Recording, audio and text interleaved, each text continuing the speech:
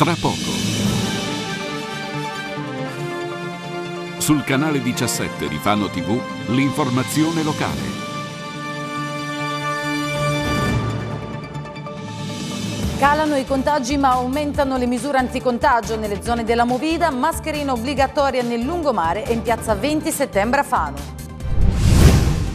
Piazza Andrea Costa libera dalle auto e un'estensione della ZTL, ecco come cambia la viabilità nel centro storico di Fano. Biodigestore Sindaco Seri replica al segretario del PD, non mi faccio commissariare da un politico, Aset non è in discussione.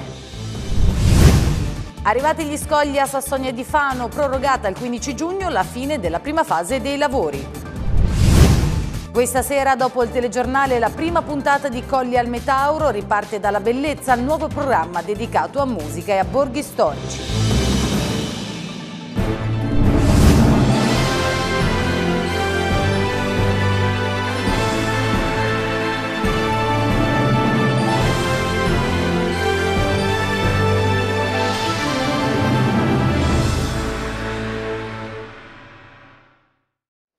Un cordiale saluto dalla redazione di Occhio alla Notizia. Nonostante il calo di contagi registrato nelle Marche nella provincia di Pesaro e Urbino, da domani anche eh, nelle zone della Movida di Fanno scatta l'obbligo della mascherina. Questa mattina sono state stabilite le zone coinvolte nelle quali saranno presenti le forze dell'ordine con pattuglie fisse.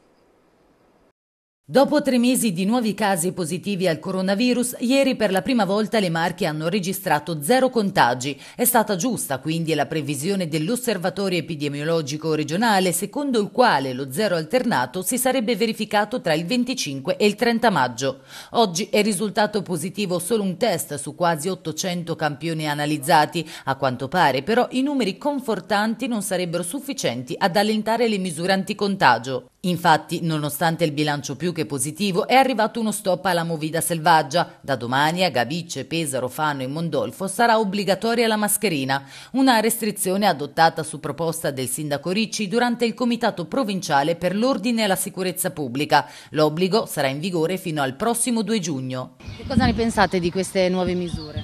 Secondo me comunque, cioè, vista la situazione, penso sia effettivamente il caso di, di renderla obbligatoria, anche perché comunque cioè, il virus non, non, è, diciamo, non, è, finita come cosa completamente. E quindi per, per tutelare tutti comunque penso sia una buona idea. Sono d'accordo con lei, vedo che molti ragazzi sono, la prendono molto alla leggera. Durante la riunione convocata dal prefetto Vittorio Lapolla è stato previsto un aumento di controlli. Il compito di vigilare su giovani e adulti spetterà all'esercito, carabinieri, polizia di Stato e vigili urbani. Previste anche pattuglie fisse in diverse zone della città. Gli agenti della municipale amplieranno l'orario di lavoro. Inoltre questa mattina c'è stato un comitato tecnico in questura per decidere quali zone presidiare ovvero quei luoghi in cui si prevede una maggiore aggregazione di ragazzi. Attiveremo la pattuglia notturna già da questo weekend lungo. Quello che abbiamo già individuato stamattina sono le tutte le zone del lungomare, Arzilla, Lido, Sassonia, eh, Torrette Fano, e anche Fano Sud, quindi naturalmente tutto il lungomare viene considerato zona da presidiare eh, e eh, particolarmente il centro nella piazza. Per cui in queste zone eh, con un'ordinanza che stiamo andando a predisporre eh, ci sarà l'obbligo appunto della mascherina per cui sì alla socialità, però con le giuste eh, attenzioni. Quindi io faccio un appello anche a tutti i giovani e meno giovani, perché sono anche meno giovani a volte che sono un po' disattenti, ad utilizzare la mascherina o comunque a mantenere le distanze di sicurezza. Attenzione dunque agli assembramenti e a togliere la mascherina solo per bere e mangiare. In caso di inosservanza delle disposizioni potrebbe scattare una multa da 400 euro. Voi cosa ne pensate? Ah sì, certo, ci vuole la mascherina assolutamente, soprattutto nei, porti, nei posti chiusi. Entrambe le soluzioni sono utili allo scopo, quindi sia la mascherina che mantenere le distanze è necessario. Sono molto vicina, la gente è molto vicina e penso che sia una misura preventiva valida. Sì. L'importante è che la rispettino poi. Non so, per esempio questi giorni al Lido era un, un putiferio, guarda, un, un, un, casino, guarda, non poteva passare neanche una pattuglia di, di, di macchine perché... Sì, tantissima, ma poi con le mascherine tirate giù qua, capito? Se da una parte c'è chi è favorevole all'obbligo di indossare la mascherina nelle zone della movida, dall'altra c'è chi sostiene che piuttosto servirebbero più controlli delle forze dell'ordine per garantire il distanziamento sociale. Noi eh, ogni 5 minuti diciamo ragazzi allontanatevi, il mio compagno addirittura abbassa la musica e con il megafono cerca di eh, fermare la serata e di dire allontanatevi, siete troppo vicini. Per quanto noi ci mettiamo tutto l'impegno per tenerli lontani, eh, comunque sono ragazzi che escono quando, quando uno si diverte, magari poi non lo fa neanche apposta, si dimentica di quello che deve fare, quindi secondo me sarebbe più giusto che invece di arrivare eh, sei carabinieri o sei poliziotti in un locale, ne venga uno per locale che controlli magari per più tempo stesso locale ed eventualmente eh, se deve sanzionare qualcuno, mi dispiace perché comunque sono clienti, ma secondo me sarebbe più giusto sanzionare direttamente l'interessato perché poi gli serve anche di lezione, perché se fanno la multa a me fanno chiudere il locale a me e loro, eh, chiuso il mio bar, comunque vanno in un, altro, in un altro locale. Qui stiamo lavorando in due, ci racconta Maura Galli, perché l'incasso non ci permette di pagare i dipendenti. Inoltre, tra affitto e bollette, le spese sono rimaste fisse anche durante il lockdown. Poi anche gli affitti sono rimasti quelli, non è che qualcuno mi ha detto ti abbasso l'affitto, anzi noi abbiamo provato a chiedere e ci hanno risposto se non riuscite a pagare tirate giù la serranda e andate a lavorare da un'altra parte. Io ieri ho guadagnato tutta la giornata 120 euro, come posso pagare tutte queste cose, affitti, luce, acqua, immondizia, anche l'immondizia, tre mesi non abbiamo lavorato, io non lo so che immondizia abbiamo fatto. Tornando alle mascherine, sembra che il problema siano solo i locali, quando invece, fa notare la barista, gli assembramenti e i contagi possono avvenire anche altrove. Io ho visto che tanto anche al mercato la gente passeggia, hanno delimitato le bancarelle, lì sì, ma tanto la gente che cammina al corso non hanno un metro di distanza, non c'è nessuno che controlla, quindi come si possono infettare nei bar si possono infettare anche nelle, in una passeggiata qualsiasi. Adesso secondo me non lo so se perché lo Stato deve fare cassa, devono multare a tutti i costi, è più semplice venire da noi, però se noi iniziamo a tirare giù tutti la serranda, eh, chi paga?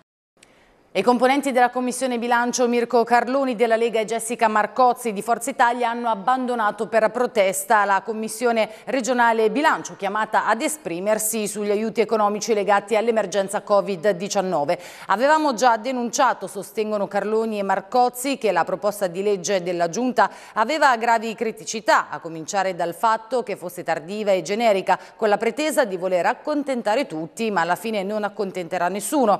Ci sono delle categorie economiche colpite in modo drammatico dalla chiusura a cui offrire risposte concrete, spiegano, mentre questa proposta non aiuterà né le imprese che hanno subito un lucro cessante né tantomeno coloro che vogliono ripartire, creare valore e occupazione. Siamo di fronte, concludono i consiglieri di minoranza, ad un provvedimento tardivo che appunto non accontenterà nessuno e che servirà piuttosto la Giunta per farsi la prossima campagna elettorale per le elezioni regionali con slogan senza sostanza.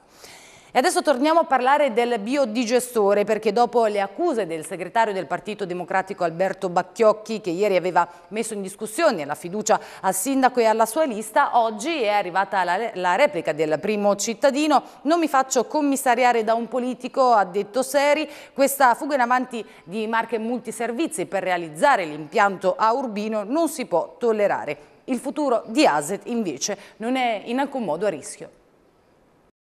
Mette anche in discussione la fiducia e un'eventuale prosecuzione di questo rapporto. Beh, dico intanto io con la gente ho messo sempre la faccia su tutte le scelte, anche quando sbaglio, perché poi qui nessuno è perfetto, si può anche sbagliare e la faccia io ce la metto sempre. Io non mi faccio certo commissariare da nessuno, specialmente da un commissario politico, perché qui non è che può essere un sindaco ostaggio qualcosa, come ho avuto modo di dire anche nei nostri confronti se c'è un commissario non è politico, è prefettizio semmai. Quindi, ma questo penso la cosa sia rientrata, io posso capire anche l'umore, il nervosismo che ci possono essere, ma ha sbagliato a impostare completamente la visione. Ma c'è una strategia che deve essere condivisa, perché altrimenti ci si divide. e nell'accordo devono essere del piano nella strategia complessiva c'è la realizzazione di due impianti, il TMB che deve essere realizzato nella vallata del Foglia e il, eh, il biodigestore nella vallata, nell'altra vallata con la copartecipazione di entrambe le aziende. Poi si può discutere sulle quote perché è normale. Quindi viene meno un accordo politico e un accordo anche tra le due aziende. Quindi per quello che mi riguarda questa fuga in avanti in, eh, non si può tollerare, quindi ci saranno delle azioni conseguenti. La prima è la politica, quindi eh, convocheremo un tavolo sotto questo aspetto per chiarire la questione perché altrimenti si faranno anche scelte diverse e un territorio se vuole vincere le sfide deve essere unito, se si divide eh, si indebolisce, ma noi abbiamo anche tutti gli strumenti e tutte le capacità per fare anche altre scelte nell'interesse della nostra città. Aset è in pericolo a questo punto o gode comunque di buona salute al di là del digestore? Guardi, mi verrebbe da dire una parolaccia, no? usando un termine per eh, definire certe affermazioni. Anche su questo, non dobbiamo giocare sulla paura degli altri. Aset è un'azienda che ha eh, conti in regola, è solida, tant'è che tutti la vogliono, quindi ci sarà un motivo, perché altrimenti se una cosa non è eh, in salute non ci sarebbe tutto questo interesse. Quindi Aset, ripeto, devono stare tranquilli, anche su questo eh, ci vuole prudenza, attenzione perché non si scherza quando si fanno certe affermazioni. Siamo orgogliosi di questa azienda per come eh, è gestita, quindi per quello che ci riguarda questa fase non ci sono alcun tipo di pericolo. Sindaco, questa sera c'è un consiglio comunale, 5 Stelle hanno un'interrogazione su questo argomento, ma la tenuta politica del, della sua giunta c'è? Le cose vanno chiarite subito, come ho avuto modo di fare, anche perché personalmente non mi faccio mettere i piedi sulla testa da nessuno. Poi ognuno si assume le proprie responsabilità. Per quello che riguarda l'interrogazione dei 5 Stelle è normale, fra l'altro i 5 Stelle non condividevano certi percorsi, ma sono d'accordo e, co- e, condividono l'importanza di impianti di gestore che stanno in un'economia circolare, che sono un valore per il territorio e per i cittadini. E nel centro storico di Fano sono previste eh, alcune nuove zone a traffico limitato, ma anche la pedonalizzazione di alcune vie da metà settembre. Partirà questo progetto sperimentale che prevede anche un cambiamento drastico in piazza Andrea Costa, diventerà eh, libera dalle auto e a disposizione dei commercianti.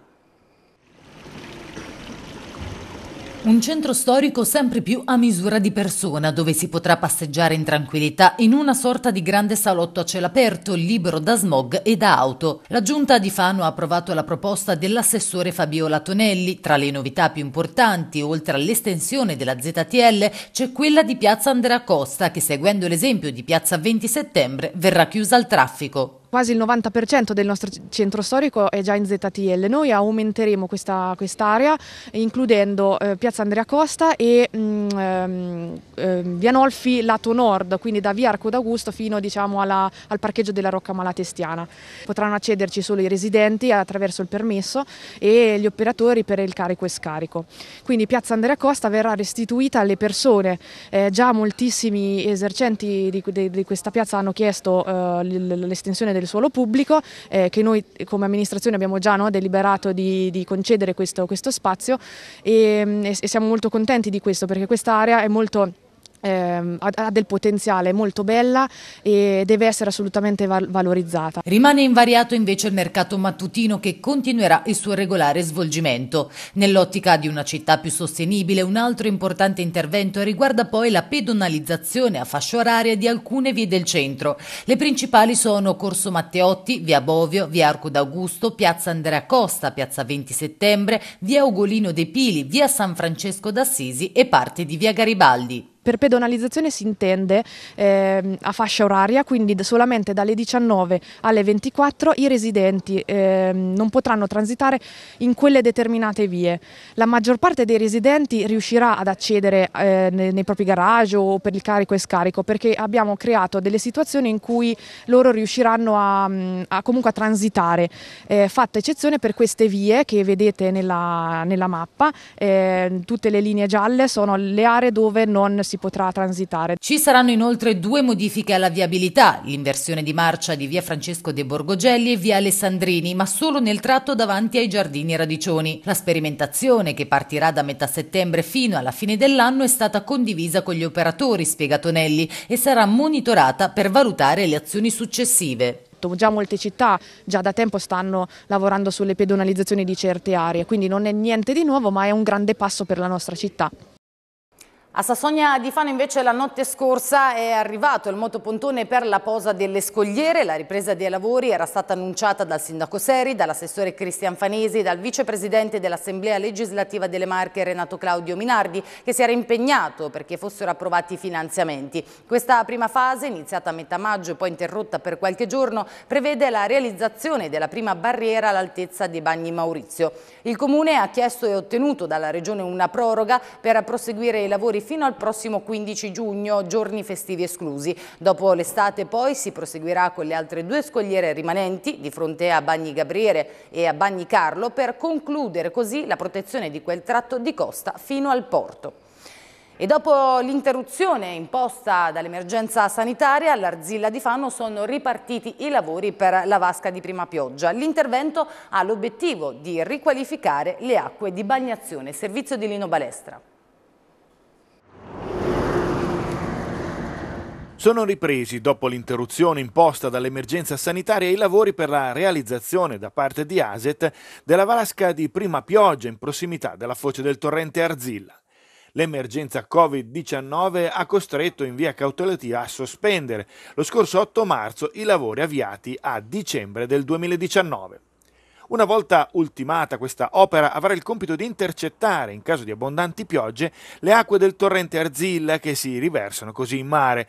In questo modo si eviteranno i divieti di balneazione in questo tratto di costa per eccesso di carica batterica un progetto a cui collaborano CNR, Università di Urbino, Regione Marche e Regione Abruzzo e che ha anche una valenza comunitaria, visto che viene condiviso con altri stati che si affacciano sul bacino del Mediterraneo. A me piace ricordare che questo è un intervento importante anche dal punto di vista economico e dentro questo contesto c'è un contributo importante che il Comune di Fano attraverso ASET è riuscito ad ottenere dall'Europa in partenariato con altri enti locali eh, della Croazia, in particolare con la provincia di Spalato, che ha consentito di recuperare quasi mezzo milione di euro, 493 mila euro, con il progetto Watercare, che contribuiscono alla realizzazione di quest'opera che è molto avanzata dal punto di vista tecnologico e che permetterà di dare un contributo importante non solo all'ambiente ma anche al turismo della nostra città. A maggio è stato infine possibile riprendere quindi i lavori di escavazione della vasca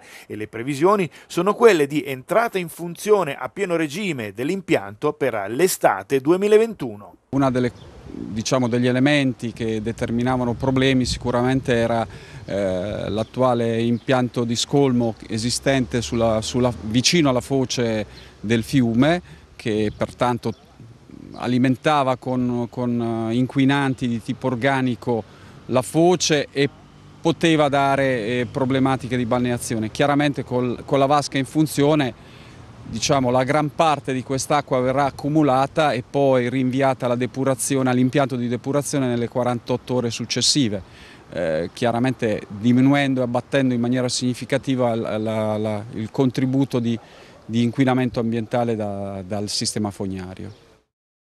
Rimaniamo a Fano perché sabato 30 maggio alle ore 17 riaprono al pubblico il Museo Archeologico e la Pinacoteca del Palazzo Malatestiano. L'assessorato alla cultura ha lavorato in queste settimane per la ripartenza con modalità atte a garantire la massima sicurezza dei visitatori nel rispetto della normativa vigente. L'ingresso al museo sarà gratuito per tutto il mese di giugno, mentre per il periodo estivo saranno programmate attività di valorizzazione del patrimonio museale con un calendario di iniziative per la fruizione gestione degli spazi non solo da remoto e quindi attraverso contenuti digitali ma anche in presenza. Per la fruizione in sicurezza del museo sarà obbligatoria la prenotazione telefonica oppure via mail e occorrerà presentarsi muniti di mascherina. L'ingresso alla sede avverrà in maniera contingentata e non potrà superare le 13 presenze ogni mezz'ora.